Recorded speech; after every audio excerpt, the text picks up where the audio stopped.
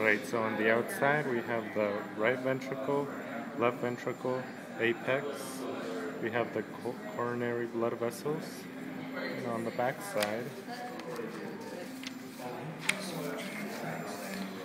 okay, we're gonna go, the, these are the auricles. Two up here, look like ears.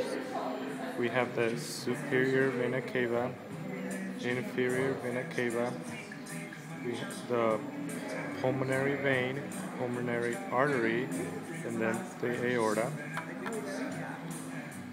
Okay, from the inside. This is the right ventricle because it's thick, thin right here, way thinner than the other side. So right atrium. We have the tricuspid valve right here that separates the ventricle and the atrium. We have the chordae tendi and the papillary muscles. On this other side, as you can see, it's way thick.